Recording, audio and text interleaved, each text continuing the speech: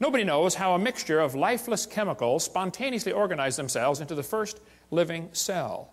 Paul Davies said, Nobody has a clue how life got started from non living material by itself. There is not even a good theory how it can happen, but the textbooks are going to teach your kids it just happened, okay? They just tell them, hey, it happened. And you, you can't even consider the option that maybe God made it. Here's what happened. Back in the 50s, two guys, Miller and Urey, decided to figure out how life evolved.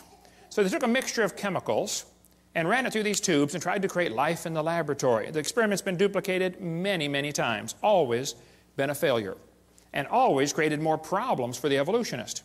This textbook says, uh, although he never proved how life originated, he did add evidence to the theory that life could have started by itself. That is a lie.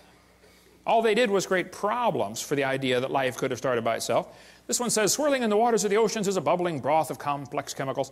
Progress from a complex chemical soup to a living organism is very slow. Boy, it sure is. It don't even happen. That's how slow it is. There are several different articles that say life came from clay. Yep, got some clay together and poof, came alive on the bottom of the ocean.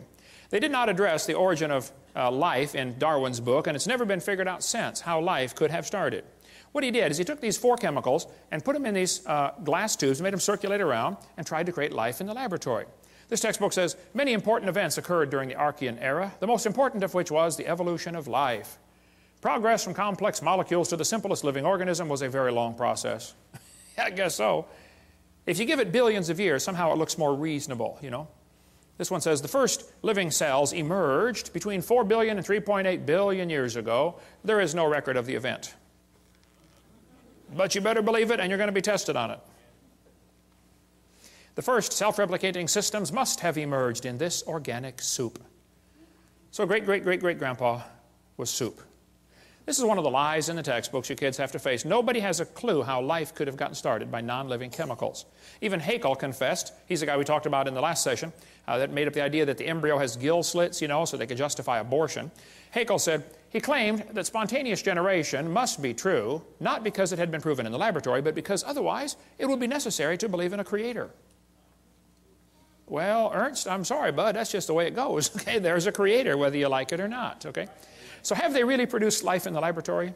Oh, they haven't even come close. Here's what they did. They took four gases. They took methane, ammonia, water vapor, and hydrogen, ran them through these tubes, ran it through a spark chamber to supposed to simulate lightning. and say, we're going to see, we're going to put them together and make life in the laboratory. At the bottom of the flask, they got this red goo, and they kept draining the goo off because if it went through the spark again, it would destroy it. So they had to make the goo and then save it from the next spark, okay?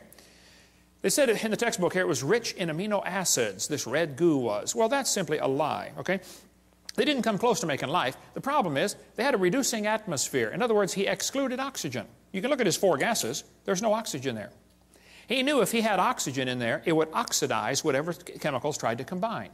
You know, you cut a banana open and lay it on the table, it turns brown, it oxidizes. You don't paint your car, and it oxidizes, it rusts. Well, living, living cells will, try, will oxidize quickly in the presence of oxygen. So he didn't put any oxygen in there. That creates a serious problem because if you, if you have oxygen, you cannot get life to come from non-living chemicals. The problem is ozone is made from oxygen, and ozone blocks UV light, and UV light destroys ammonia, and ammonia is one of the four gases he's got. So you cannot get life to evolve with oxygen, and you cannot get life to evolve without oxygen. Because if you don't have oxygen, you don't have ozone, and now your ammonia gets destroyed. It's just not going to work either way. And the Earth has always had oxygen, even more than today. This guy said, What evidence is there for a primitive methane ammonia atmosphere on Earth? The answer is there is no evidence for it, but much against it we find in general no evidence in the sedimentary distribution of carbon, sulfur, uranium, etc., of that an oxygen-free atmosphere ever existed on the Earth. If somebody tells you the early Earth had a reducing atmosphere, you tell them Kent Hovind said they're confused or they're deliberately lying because it's not true. The Earth has always had oxygen. This article said, it's suggested from the earliest dated rocks at 3.7 billion years ago, Earth had an oxygenic atmosphere. They've always known the Earth had oxygen, even more than we have today. We covered that on seminar part two, how the early Earth probably had even more oxygen, made them live longer.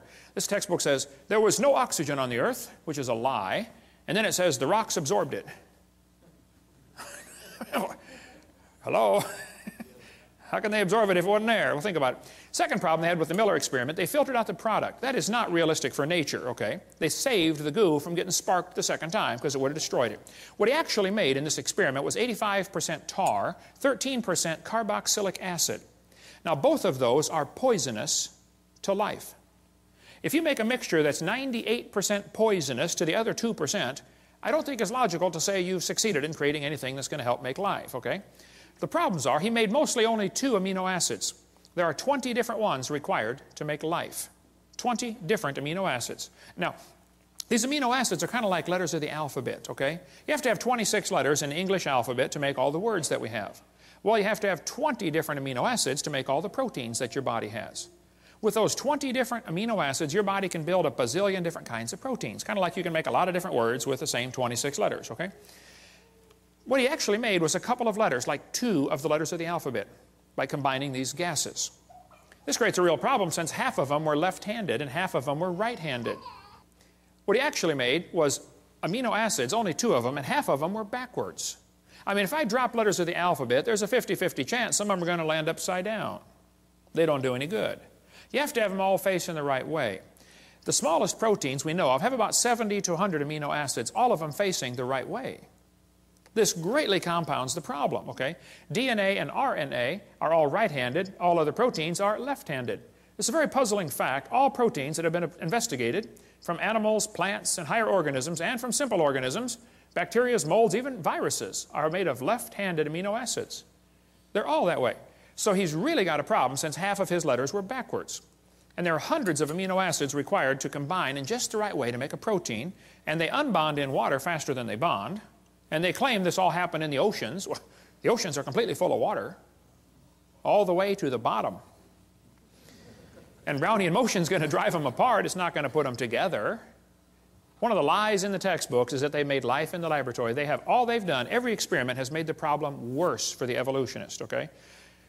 They, spontaneous generations do not occur spontaneously in water. Life is not going to get started in this way. There's a whole lot more in the book, Icons of Evolution, if you want a lot more on the subject to go down deep. But they got this weird idea in their head that all they have to do is get all the right chemicals together and then add energy and it'll make life. Okay, well, let's do an experiment. Let's put a frog in a blender and turn it on. In a matter of moments, you will have frog nog and you will have all of the chemicals required to make a frog in one blender, right? Then we're going to add energy. You can turn it on puree for 30 minutes. You can nuke it, microwave it, zap it with jumper cables. I don't care what you do. Drop a hand grenade in there. Add all the energy you want, okay? How long will it take to reassemble the frog? It'll never happen. See, just getting the chemicals together isn't the problem. You go to the mortuary, you got a dead body laying there, you got all the chemicals required for life right there in one spot. Bring it back to life. Life is something different. I don't think science has ever defined that clearly, but they talk about how we all came from this early life form. Once this first life form got started, this single cell, then it evolved into everything else. Like this textbook shows the kids that a bacteria slowly evolved to a human. These trees of life are absolute propaganda. There is no evidence for any of these, okay? Even Mary Leakey said, those trees of life with the branches of our ancestors, that's a lot of nonsense, okay? Stephen Gould said the evolutionary trees that adorn our textbooks are not the evidence of fossils, that's for sure. There is no evidence that any animal is related to any other kind of animal. But this textbook says, all the many forms of life on Earth today are descended from a common ancestor found in a population of primitive unicellular organisms. There's no such thing as a primitive unicellular organism.